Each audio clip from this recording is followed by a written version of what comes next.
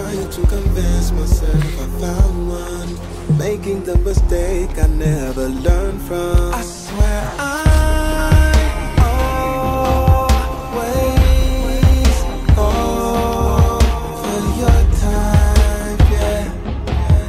For your